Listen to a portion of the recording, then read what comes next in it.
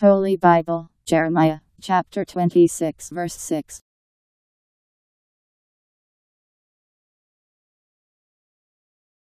Then I will make this house like Shiloh, and will make this town a curse to all the nations of the earth.